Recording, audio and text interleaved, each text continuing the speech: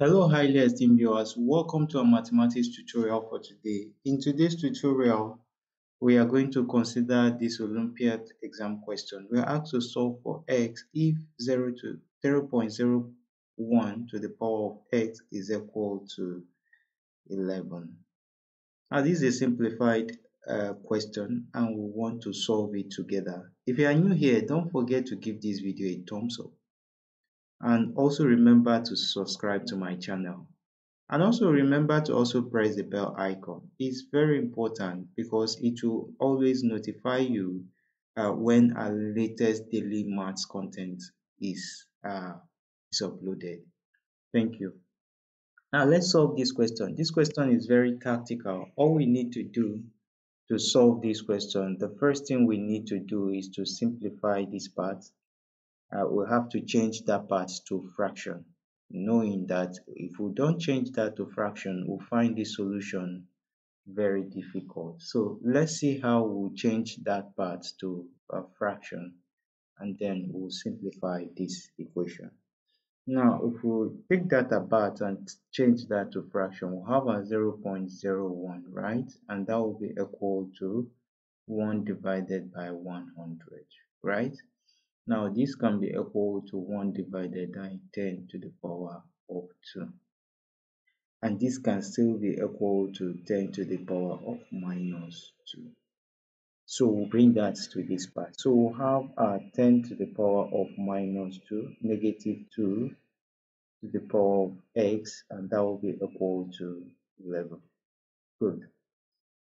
Now the laws of logarithm indices allows us to multiply these two. So that will give us 10 to the power of negative 2x equal to 11, right? Good. So at this point, all we, we want to do is uh, we want to take the log of both sides. So we'll take the log of, we want to take the log of uh, 10 to the power of minus 2x equal to log of 11. Now, according to the law of logarithm, this will always come over here. So we'll have a minus 2x log of 10 equal to log of 11. So I want you to also to note that uh, any log without an assigned uh, an assigned base is always in base 10. So that means these logs are all in base sign because within base 10, we didn't assign any any base to them. So we'll have log of 10 to base 10. That's what we'll have here to be equal to this will also be log of 10 to base 10, but we'll leave it that way. And this will now give us Remember log of a to base a is always equal to 1. So that will give us 1. So this left hand side will give us negative 2x to be equal to log of 11. That's what we're going to get over there. So find the value of x, we divide both sides by minus 2. So our x will be equal to 1 divided by negative 2 log of 11, right? That is what that part is going to give us. So having gotten this point, the next thing we need to do is to uh, simplify.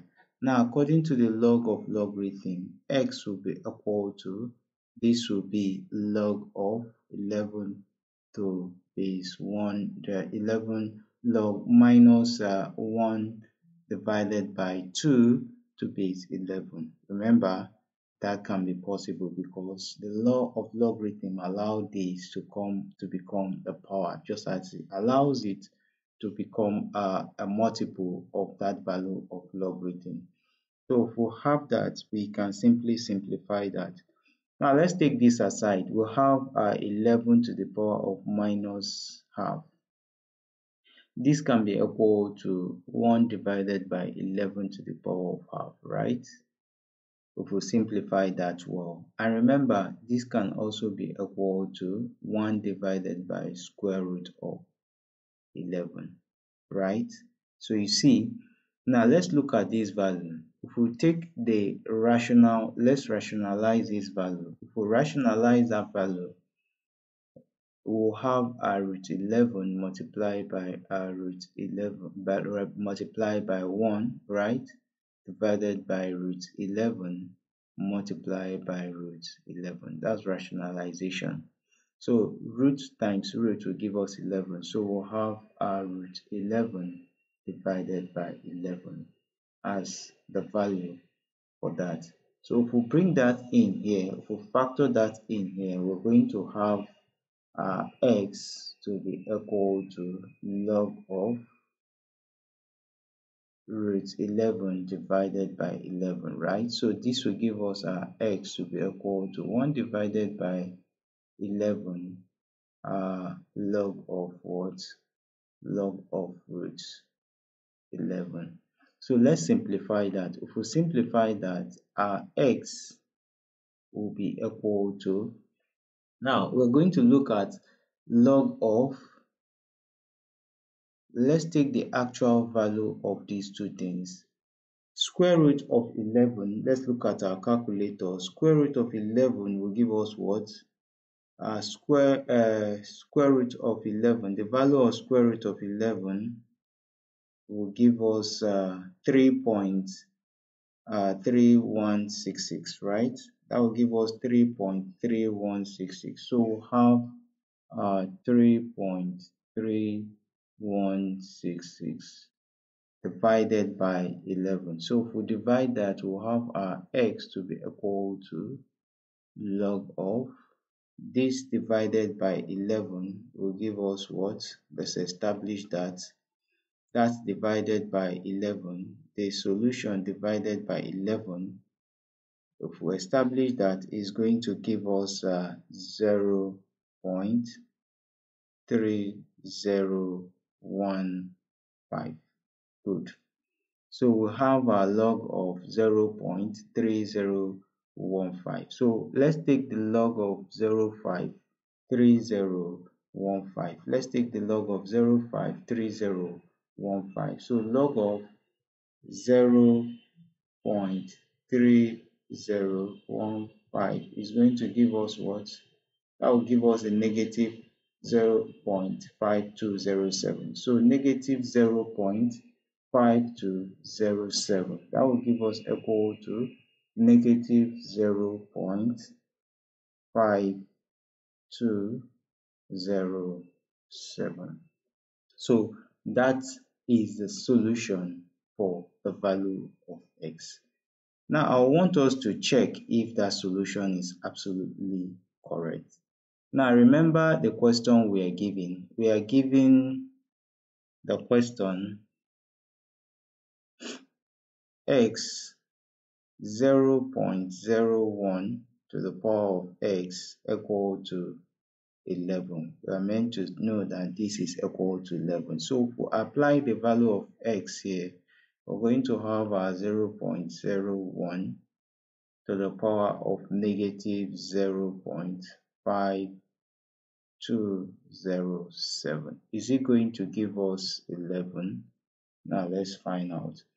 Let's go back to our online calculator. If we go back to our online calculator, let's look at uh, let's look at 0 0.01 to the power of negative 0 0.5207 what will it give us?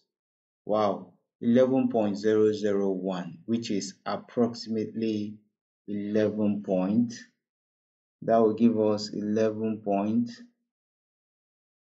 11.0001 which is still approximately uh, 11 so we see that this solution to the value of x negative 0.527 is absolutely what? Correct. So this how far this is what i have for you for today. Don't forget to give this video a thumbs up, share this video with friends and colleagues, and remember to subscribe to my channel for more simplified Maths Olympiad solution video. Thanks and bye bye for now.